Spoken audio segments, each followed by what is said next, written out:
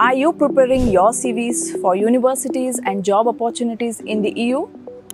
Then you have to know the difference between Europass CVs and tabular CVs. The Europass CVs format is widely accepted and recognized by organizations within the EU. Its website has an easily accessible resume builder from where you can create, download, and share your resume. It is designed to standardize and facilitate an ease of exchange of CVs between European countries. A tabular resume, on the other hand, organizes your educational and professional information in tables.